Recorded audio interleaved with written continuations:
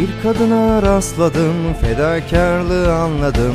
En başında anneciğim, kıymetlerini bilelim. 8 Mart Dünya Kadınlar Günü kutlu olsun. Sadece bugün değil, her gün çok mutlu olsun.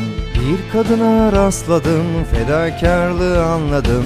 En başında anneciğim, kıymetlerini bilelim. 8 Mart Dünya Kadınlar Günü kutlu olsun. Sadece bugün değil her gün çok mutlu olsun